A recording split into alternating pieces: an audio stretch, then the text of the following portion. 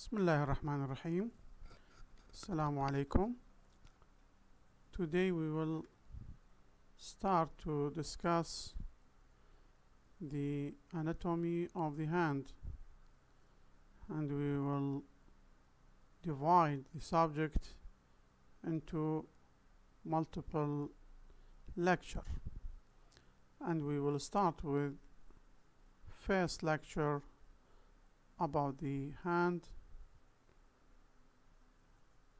which will be discussed in it the bony skeleton of the hand. From the anatomical point of the view the skeleton of the hand is composed of three parts. Proximal part which is formed by eight bones called carpal bones. Middle part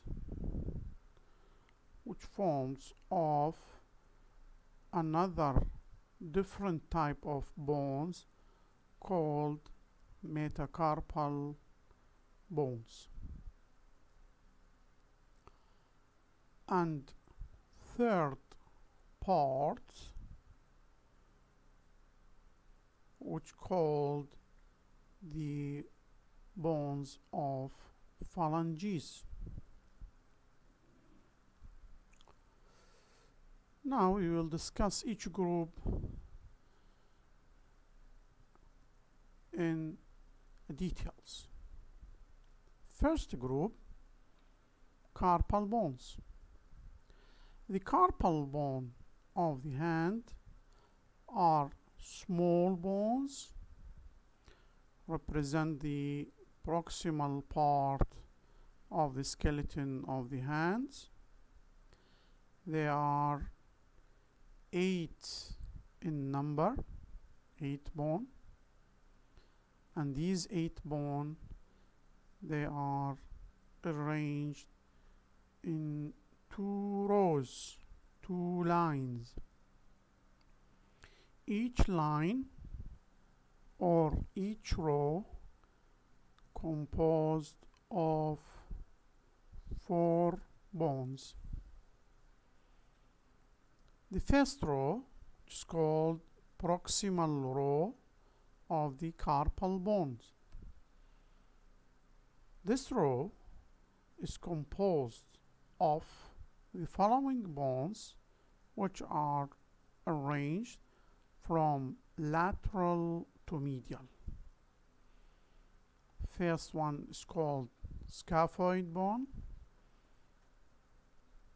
This is the largest of these carpal bones curved in shape curved proximally articulate with distal end of radius at the wrist joint distally articulates with the distal row of the carpal bone especially the trapezium and trapezoid bone. It has prominent process on its anterior surface which called tubercle of the scaphoid bone. And proximal to this a narrow part which called neck of scaphoid bone. Second bone in the proximal row called lunate bone. Lunate bone. This bone it articulate proximally with radius distally with distal row of carpal bone capitate and hamate. And on each side it will articulate with nearby carpal bones which means scaphoid and triquetrum an important note that these two bones scaphoid and lunate they form the main articular structure in the wrist joint distally because the wrist joint is composed distally mainly of scaphoid and lunate and proximally distal end of the radius. Third bone, carpal bone called triquetrum and this bone articulate mainly with surrounding carpal bones which means lunate, hamate and pisiform. The last of the proximal row which is the most medial bone is called pisiform bone. So the proximal row of the carpal bone from medial to lateral composed of scaphoid, lunate, triquetrum, and pisiform bone. Second row of the carpal bone, which is the distal row, and this row composed also of another four bones, and these are arranged from lateral to medial. First trapezium second trapezoid bone. Third capitate. And fourth hamate bone. The hamate bone on its ventral surface a prominent bony process called hook of hamate this is an important anatomical mark because it give attachment to the flexor retinaculum. These four bones they have multiple synovial joints between each another called intercarpal uh, sorry intercarpal joints and also they have another type of synovial joints with metacarpal bones. These joints called carpo-metacarpal joints.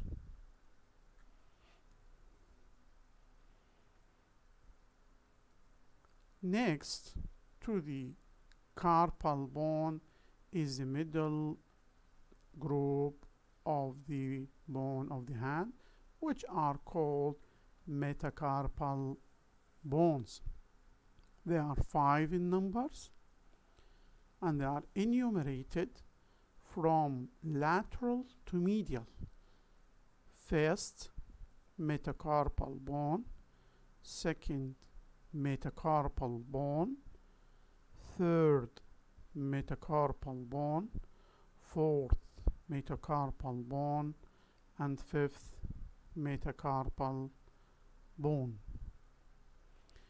These metacarpal bones they are long cylindrical bones possess two ends proximal end which will articulate with the distal row of the carpal bones at the carpo-metacarpal joints and distal end which articulate with phalanges at the metacarpophalangeal joints.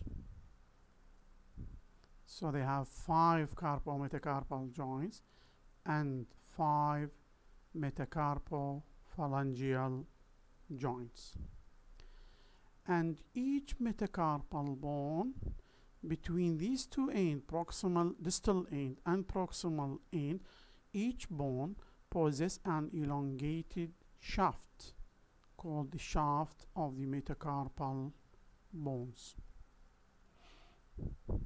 Should know an important note, these metacarpal bones are enumerated from lateral to medial. First, second, third, fourth, and fifth metacarpal bones. Now, the third group of the bones of the hand, they are the phalanges. The hand possess five phalanges, five digits, sorry, five digits or five fingers. Each finger is composed of three phalanges, proximal phalanx, distal phalanx, and in between that's the intermediate phalanx except the first finger that's the thumb which composed only of two phalanges proximal phalanx and distal phalanx. These phalanges they are articulated proximally with metacarpal bones at the metacarpophalangeal joints. And between each other another type of joints which called interphalangeal joints.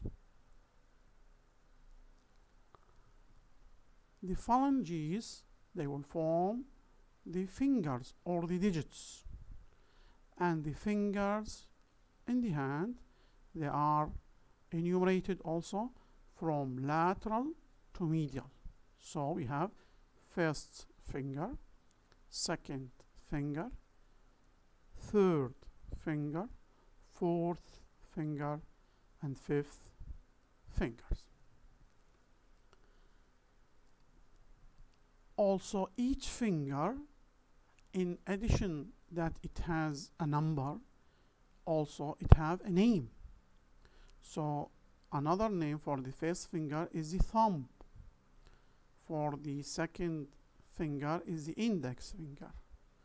For the third finger is the middle finger. The fourth finger is called ring finger. The fifth is called little finger. As in the metacarpal bone the phalanges also they are elongated bones having two ends.